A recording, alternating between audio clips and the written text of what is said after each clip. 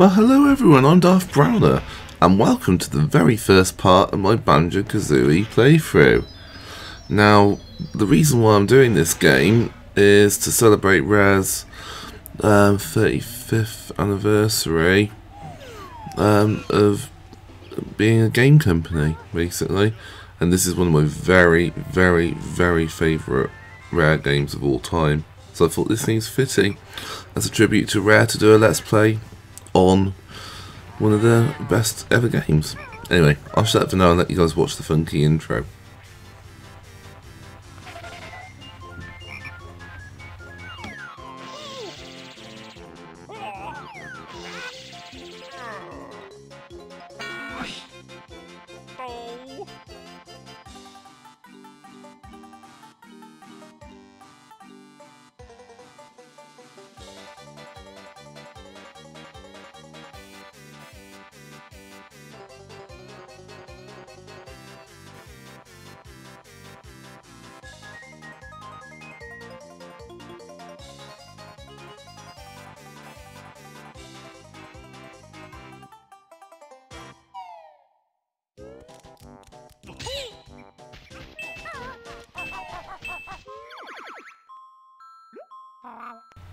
Now we have the really cool menu. I'm playing the Xbox 360 version of the game as opposed to the N64 version because I think this is probably the better version I would say.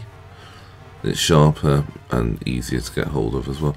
I love the Game Boy homage. I'm glad that was kept in there because even though Rare was bought by Microsoft, I'm really glad they kept that. Anyway,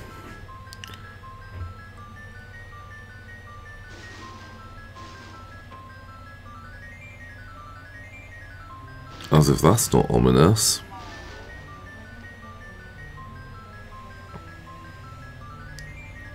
The, the windy stairs we go.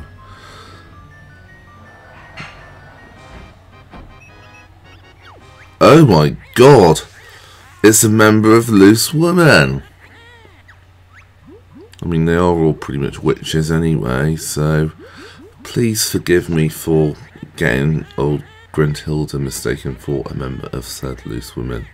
For those of you who don't know, it's a really, really annoying show on ITV. But I digress. Whichever plan she's planning, we will have to try and thwart her. Pun most certainly intended.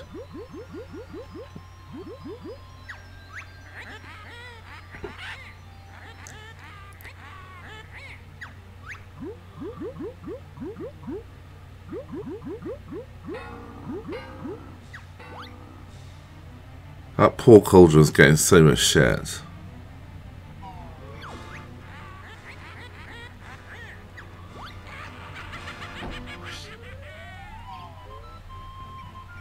Oh, there's little Tooty frolicking away without a care in the world, and yet that foreshadowing of that tower in the background.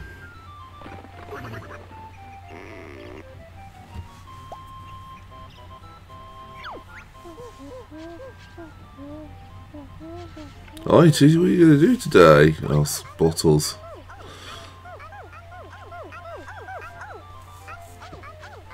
Oh, an adventure! How cool!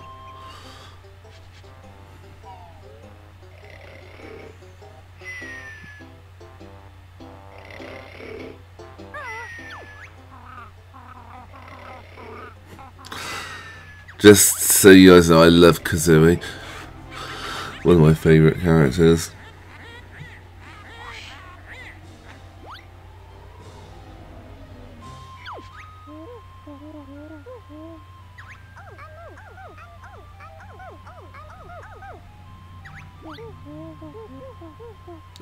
Can fly now, can they? Jeez Louise. Run, little girl.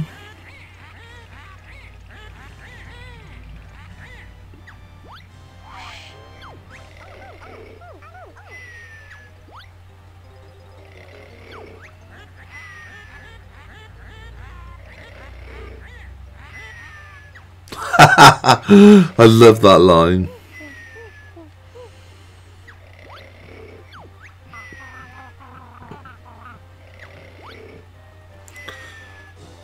I love how Kazooie is just in the backpack.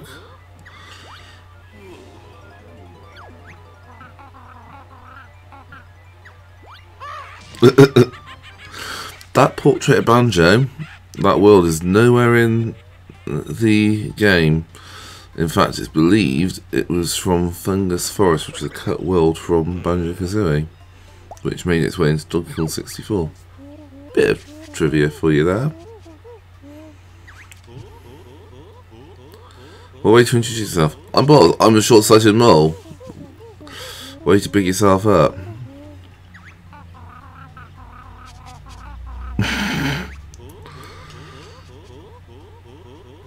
Kazooie's insults are just priceless.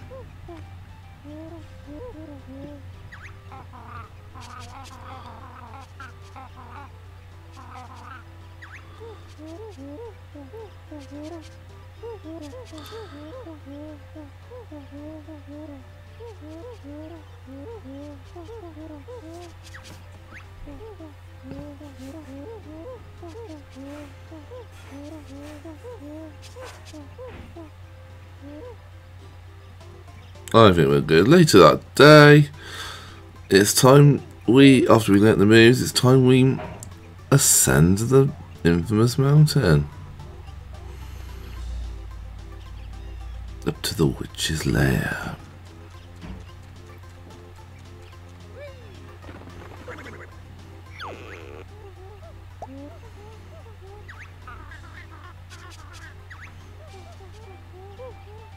Oh, that's good of you, Bottle Boy.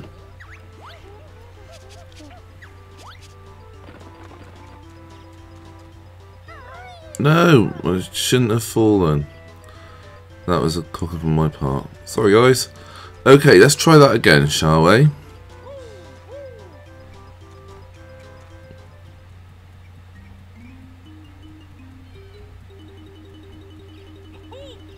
And we're in. Grunty can barely fit in the machine.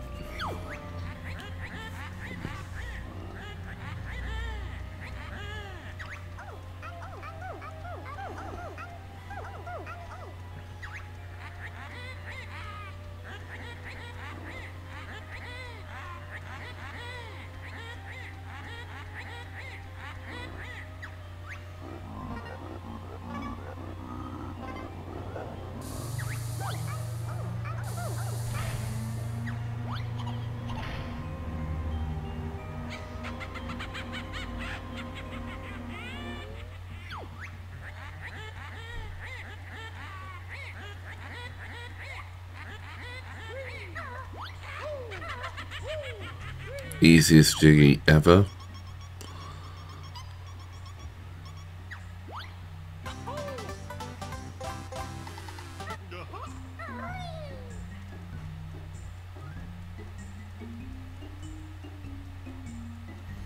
Don't you think the uh, Gruntilda theme sounds very familiar? Teddy Bear's Picnic by any chance? That's what I thought when I first played it. Quite a catchy theme as well. Mind you, the music in this game is phenomenal.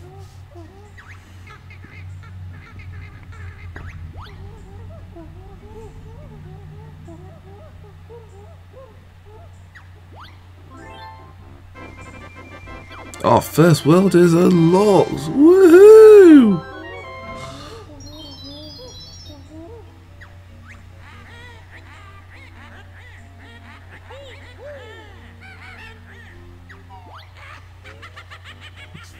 And her rhymes.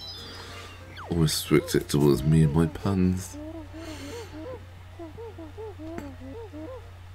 Okay, let's do this. Mumbo's Mountain is the easiest level in the entire game, fitting considering it's the first world and everything. And it effectively goes over the basics. I remember quite a bit of this from when I played it as a kid. Did anyone play Banjo Tooie, the sequel to this? I really enjoyed it. It's a lot more open worldy, I would say, and the levels are a lot more connected. Whereas a lot of the levels are more standalone in on this version. And in Banjo Tooie it's like twice the size, if not bigger. I enjoyed it. I know most people have quite mixed feelings about it, but I really enjoyed it. Well, I'd love to see a remake of this game one day. Or better still, Rare, if you're watching this, can we have a Banjo 3A? Eh? So I don't count nuts and bolts. I'm afraid, but a sequel to this, or Banjo 2 will be amazing. When you consider a lot of the 3D platformers have come back into prominence, I think A Hat in Time and Yooka-Laylee have proven that there's still support for it. It's a genre that is quite exciting, and over there we got Ty the Tasmanian Tiger that got re-released, and SpongeBob Battle for Bikini Bottom rehydrated.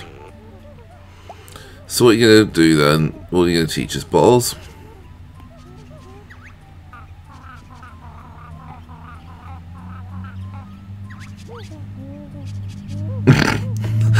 Used to it, Nesca. Brilliant. You just got owned. Kazooie, you got owned. Yeah, 10 jiggies on each world. Collecting all the Jinjos is always one of them.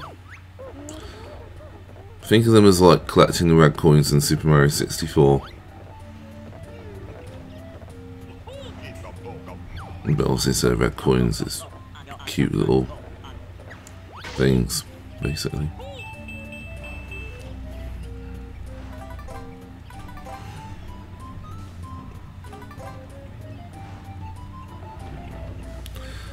Okay then, let's have a little bit of a walk around. Right, we'll get you later on. You to fight eggs into that.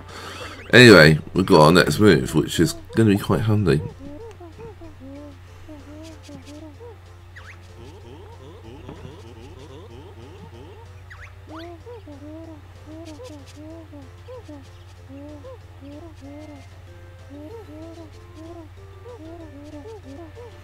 Talon Trot is so useful, it really, really is.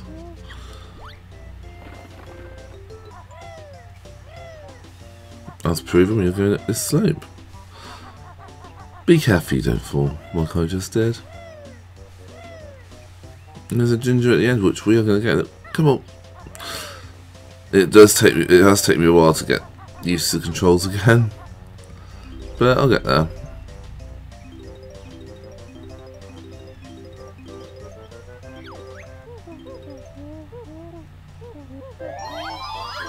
Yeah, we're not going to break a note door yet.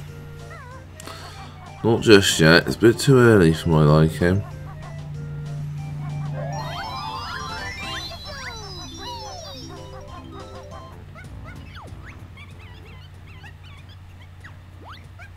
Oh, you're a demanding little monkey. There's monkey business afoot when it comes to Conga, though. So he's there throwing oranges at you. Well, surely it's best not to throw oranges at all, Poppet, and then that way I won't have to stand on your switches.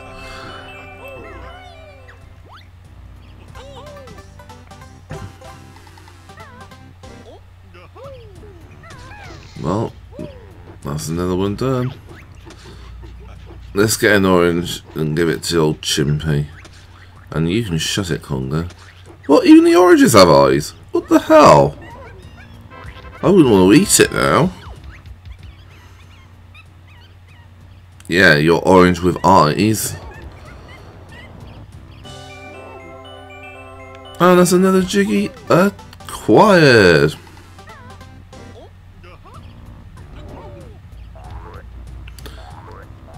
Oh, in the beta version of Banjo-Kazooie that was released at E3 in 97, those eggs made a really irritating, nasally type noise.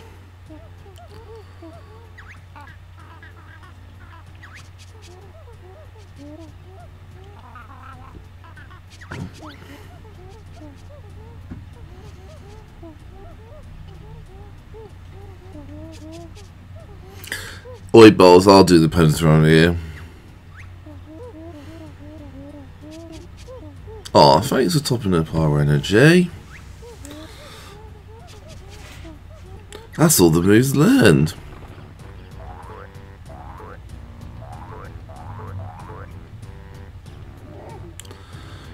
Right, and let's uh, deal with this giant overgrown ape.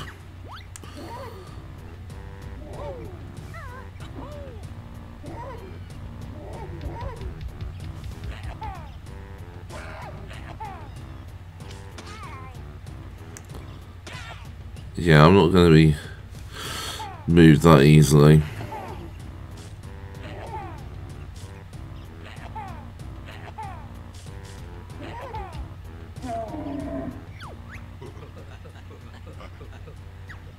Easiest boss battle ever.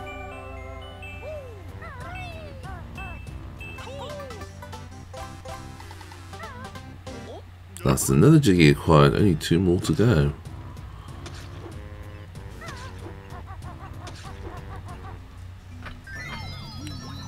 We need to visit old Mumbo Jumbo. He's the magical shaman that had his head turned into a skull by Gruntilda. Lovely lady.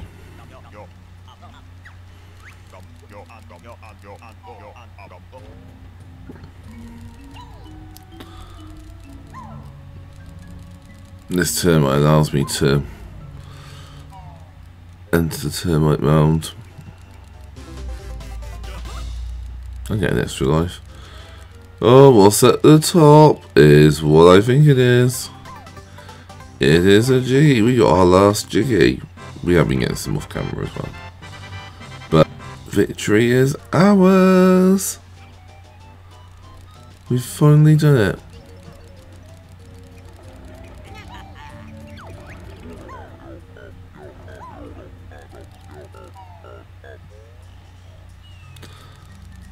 Right, we need to change back, I think.